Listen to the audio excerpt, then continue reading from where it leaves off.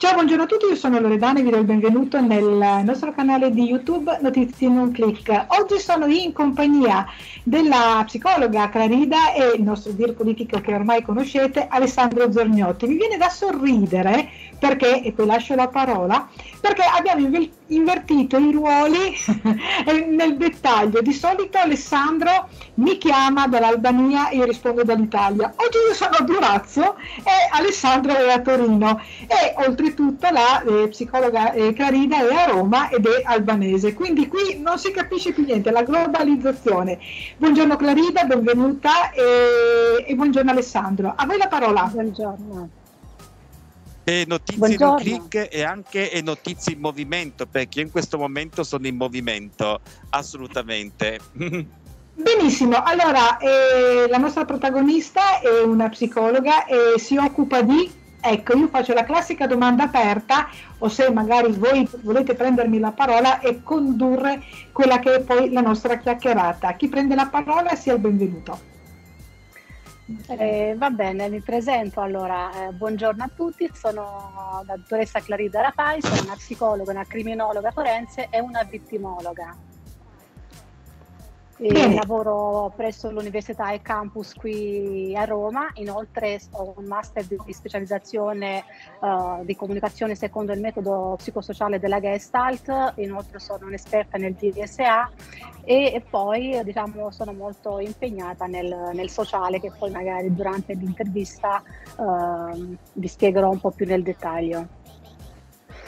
Allora, io ringrazio Clarida di questa grande opportunità di aprire il Capodanno con lei perché lei arriva subito dopo il presidente Mattarella che ha dedicato il messaggio di fine anno 2023, inizio anno 2024 al tema della violenza di genere, al discorso del concetto del, dell'amore come dono, come altruismo, come armonizzazione della libertà propria con quella altrui e non come possesso violento e prepotente. Sono parole bellissime e io pensando a Clarido subito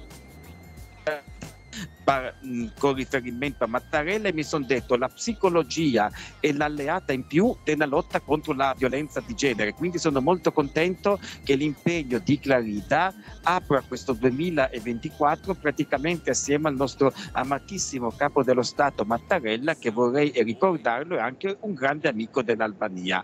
A te la parola Clarita, una riflessione sul discorso di Mattarella e sugli strumenti che poi Loredana interverrà Do, dopodiché, come lei ama dire, parlando di me, io eh, mi taccio leopardianamente, eh, gli strumenti che la, la, la, la normativa italiana dovrebbe eh, eh, applicare e inserire per recepire le raccomandazioni di Mattarella. A te la parola Clarita e grazie.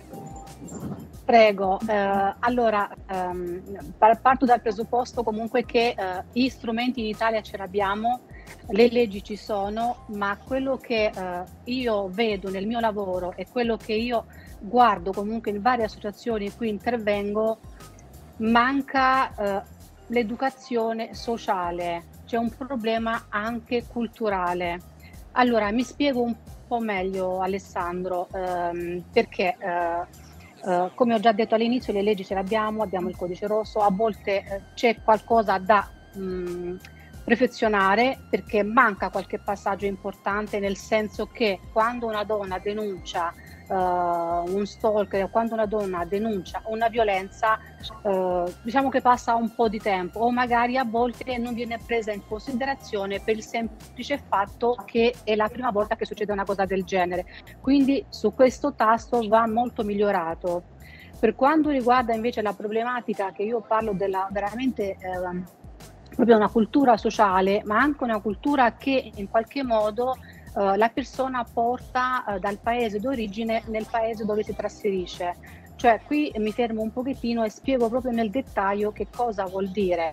Allora, io ehm, prima di andare al dettaglio spiego piccolo, un piccolo intervento che faccio nelle scuole perché sono molto impegnata anche nelle scuole per quanto riguarda il fenomeno del bullismo e cyberbullismo e vedo già nelle scuole la problematica proprio dell'inserimento per quanto riguarda uh, l'integrazione proprio dei bambini. Perché questo? Perché purtroppo che cosa succede? Che mentre l'adolescente quindi prendo l'adolescente ma anche il bambino che va all'asilo dal primo anno dell'asilo, quindi partiamo dai tre anni, eh, in famiglia vive una cultura completamente diversa, quindi io qui non vado a uh, elencare tutte le culture, però comunque vive una certa sua cultura di provenienza.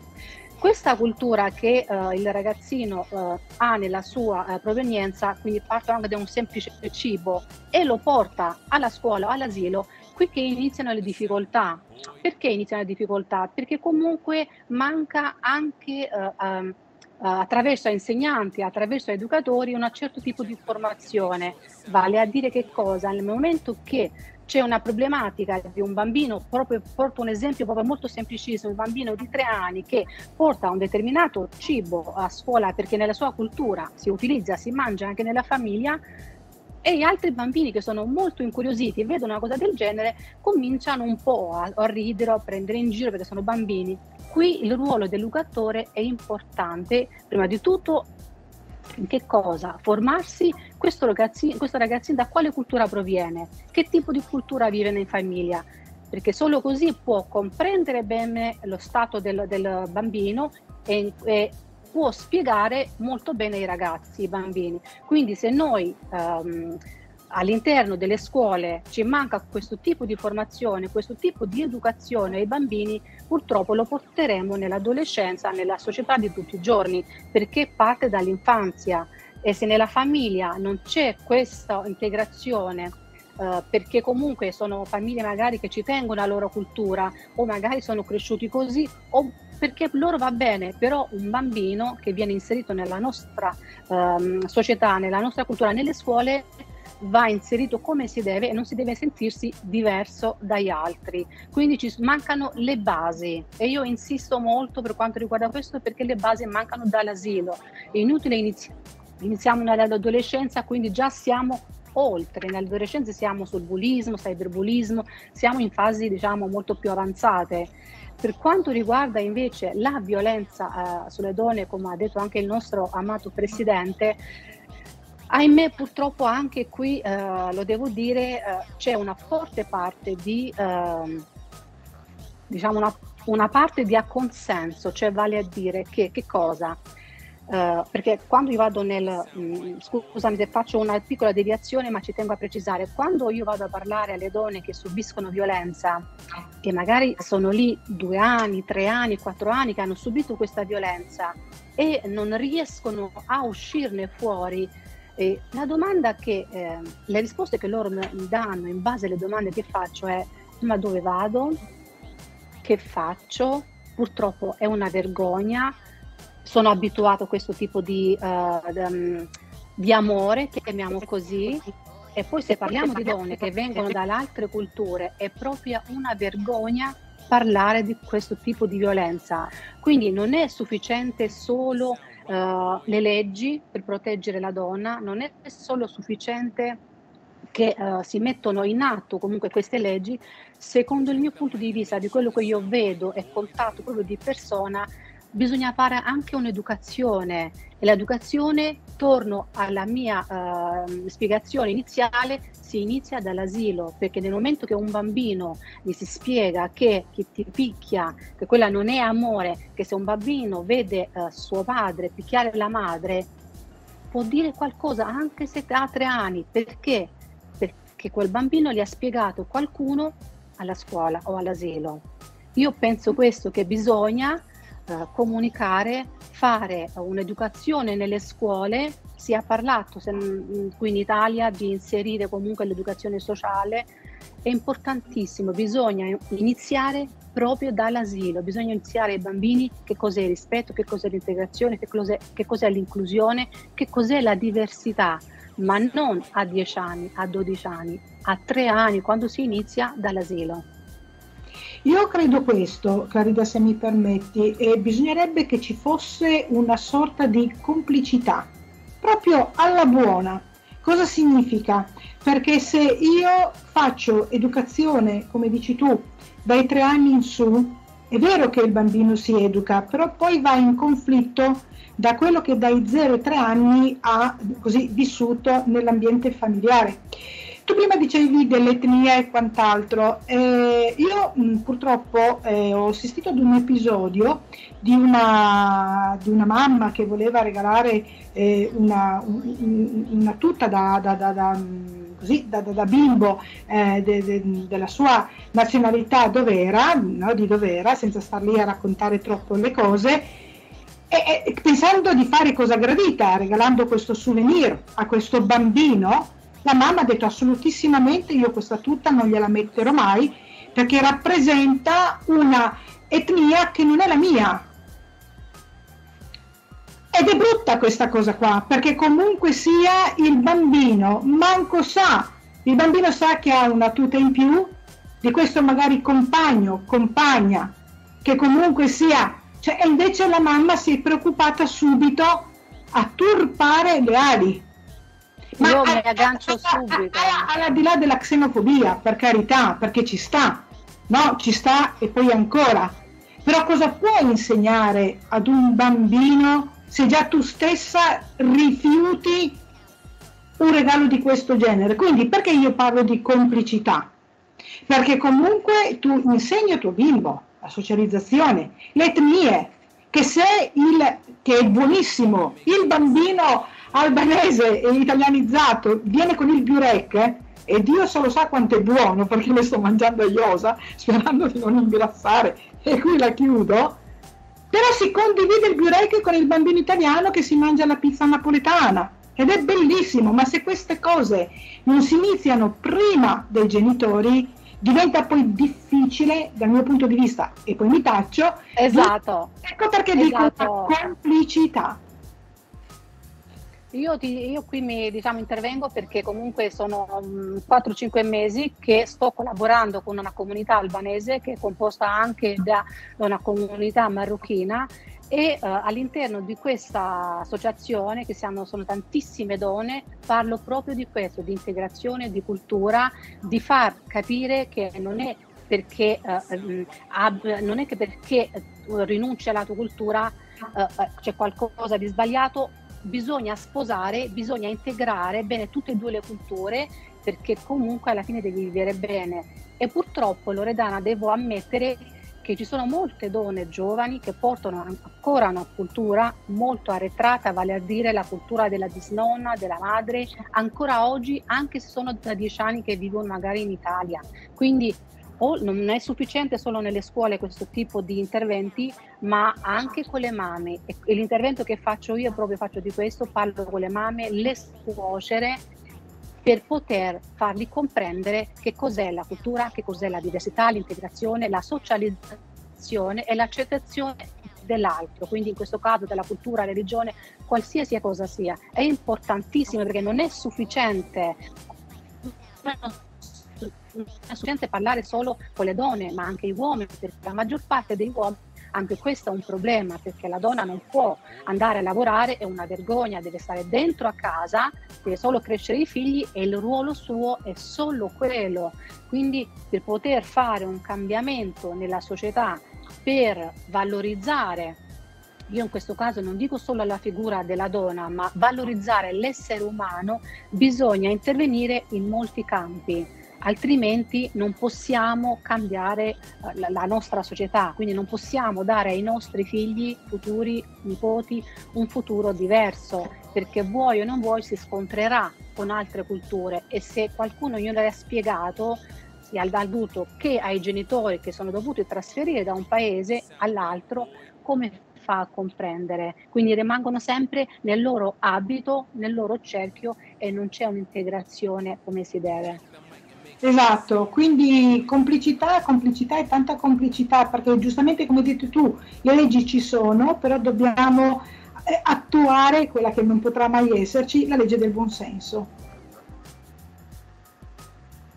Esatto, io vorrei dire anche un'altra cosa, nel momento comunque che c'è una denuncia uh, di uh, violenza, uh, oltre comunque che si prenderà cura della donna in quel caso, secondo il mio punto di vista bisogna fare anche una ricerca verso la persona che usa violenza, essere presa in considerazione, perché no, anche da un psicologo per vedere questa persona in che, tipo, in che stato è, perché altrimenti poi la, la, persona viene allontanata, la persona comunque viene messo il braccialetto e qui in Italia purtroppo ci sono stati casi anche di omicidio anche quando la persona è stata allontanato, è stato in carcere o col braccialetto.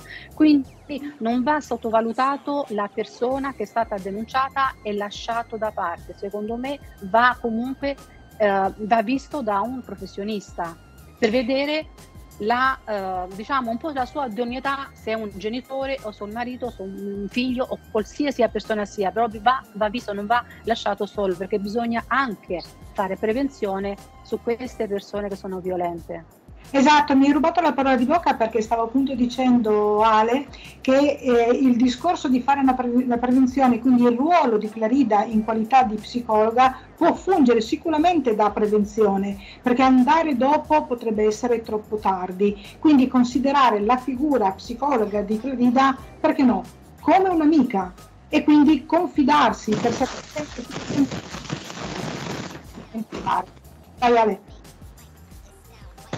Io, io vi ringrazio, colgo l'occasione per salutarvi per cause di forza maggiore e logistica. Tendo a ricordare che purtroppo c'è un problema molto grave di violenza di genere, in particolare in Kosovo, però devo dire che i leader balcanici di ultima generazione sono molto illuminati. Basti pensare alla composizione maggioritaria femminile del terzo governo Rama, alla circostanza che la prima ministra della Serbia è donna, della comunità LGBT, che la Presidente della Repubblica del Kosovo è donna, che la nostra prima ministra è donna e ha stabilito un'amicizia personale oltre che istituzionale col premier di Tirana. L- eh, il sindaco di Tirana, Erion Veliai, ha nominato e riconfermato eh, due donne nella carica di eh, vicepresidenti della giunta comunale, quindi eh, vice sindaco, quindi ci sono tutti gli strumenti culturali per cui questa nuova classe dirigente partendo dal vertice eh, riuscirà poi a incidere sulla, sulla, società civile. Con questo io vi ringrazio e sono purtroppo obbligato a disattivare l'immagine per causa di forza maggiore trasportistica e auguro buon anno a voi e ai nostri eh, video, video spettatori che che seguiranno questa registrazione assieme a un contributo editoriale che sarà pubblicato sull'edizione di di prima pagina di domani mattina. Buon... E noi continuiamo la nostra chiacchierata e um, mi viene da dire chi ti vuole contattare, come ti può e come ti deve soprattutto contattare, come sei reperibile. Eh, allora, io sono reperibile tramite il mio link, mio dottore su internet, quindi basta inserire il mio nome e cognome, quindi dottoressa Clarida Rapai, mi trova su internet, sui social, perché anche sui social rispondo alle domande eh, quando magari mi chiedono, però mh, sicuramente tramite anche LinkedIn, insomma, sono reperibile sui social, sono, sono attiva perché vorrei dare comunque anche chi ci segue, magari che sta passando un momento, diciamo così, di tristezza, magari leggendo un post eh, si può un po' sollevare o magari eh, vedere diciamo, il mondo sotto un'altra prospettiva. Diciamo che è impossibile quasi non trovarti e io ci tengo a precisare che a tutt'oggi nella zona riservata eh, di Notizie clic in prima pagina eh, con la quale i nostri um, diciamo così, ascolt- eh, ascoltatori, ascoltatori lettori eh, scelgono e diciamo che sei abbastanza scelta perché trovano interessante che cosa fai e chi sei. Questo in estrema sintesi. Quindi, eh, detto questo, che facciamo? Ci congediamo? Io, io vorrei, vorrei sì, vorrei dire l'ultima cosa, vorrei dire l'ultima eh. cosa eh, per quanto riguarda lo sport. Ecco, Vorrei eh, che, ehm, allora io faccio parte della Federazione Italiana Krav Maga, che ehm, questa, diciamo, questa federazione si occupa per la difesa personale e eh, faccio eh, formazione eh, ai maestri perché eh, sono capitato, è successo che molte donne che sono state vittime di violenza nel momento che sono entrati a fare questo tipo di, eh, di palestra, chiamiamolo così, Uh, hanno, hanno diciamo, avuto anche uno sblocco quando magari determinati movimenti che sono stati fatti nello sport sono aperti per quello che stavano subendo. Quindi lo sport è importantissimo, qualsiasi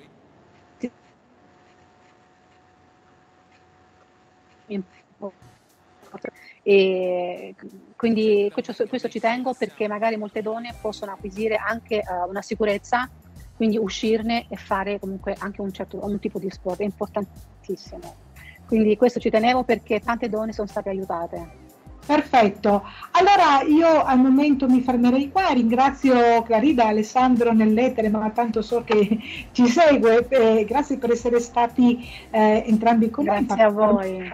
Ecco, e lascio, come dico sempre, a te eh, le ultime battute per i saluti finali. A te la parola Clarida. Io grazie per, per questo invito, per l'intervista. Quello che, che, vorrei dire a chi ci segue, ai nostri telespettatori, quando tornate a casa, amate la vostra famiglia, quando tornate a casa, via le tecnologie e guardate i vostri figli negli occhi, la vostra moglie, mamma, chi avete. Quindi più contatto e meno tecnologia. Questo mi viene da dire. Grazie a tutti, alla prossima. Grazie.